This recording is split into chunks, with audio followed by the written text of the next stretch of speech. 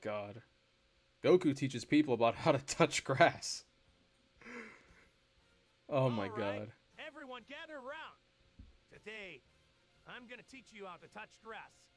It's a really important skill to have, you know. So pay close attention. It's like clipping through Goku, Kamehameha's. Are you serious? Why is Frieza shaking? Are we shaking? really going to waste our time on this? Oh, Piccolo, don't be such a buzzkill. Touching grass is a crucial part of life. It connects you with nature, man. I don't need to learn how to touch grass, Kakarot. I'm a Saiyan prince, not some damn hippie. Come on, Vegeta! It won't kill you to get in touch with your sensitive side. Just imagine how soft and squishy the grass feels between your toes. Touching grass, huh? How utterly filthy. I prefer to conquer planets and make Oh them my God, my their personal voices. Much more efficient, don't you think? Hey, Frieza!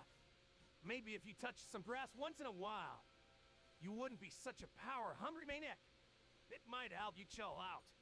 Goku, Hey, they're all- perhaps I can assist in this matter. I can They're all on grass right special now. Training simulation where you can touch all the grass you want. That's Yeah, Whis great Whis idea, would do that. guys. Whis would actually do do that. Grass touching training. Here I come. My god. Goku and Bulma's